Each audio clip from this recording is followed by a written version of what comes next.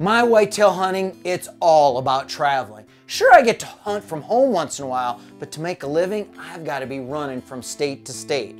All my successful hunts, though, they start right here in the laundry room. I want to make sure all of my clothes are scent free before I leave home. And that starts with making sure my clothes wash are scent free by using scent eliminating products and getting rid of all those nasty smells from the other laundry detergents.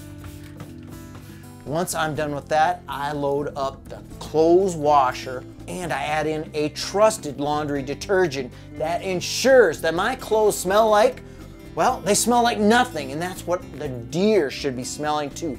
Absolutely nothing. And that's how I start my road trips for deer hunting.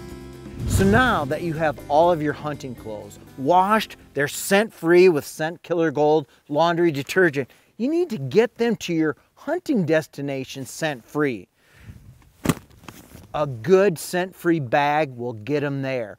A lot of companies make these, but if you're a little uh, short on the money, just go to a big box store. Buy one of those rubber totes, take your Scent Killer Gold spray, spray it out, wash it out, make sure it's clean, and you can take all of your hunting clothes neatly folded, stack them in there. And it's easy to carry in and out of hunting camp.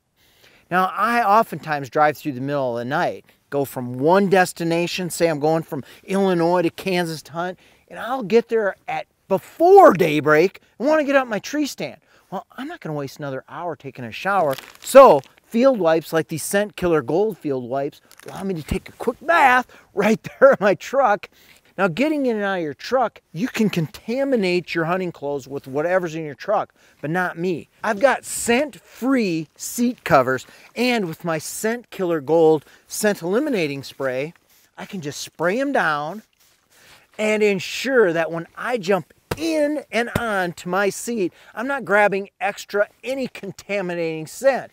And you want to definitely not stink when you get to your hunting destination.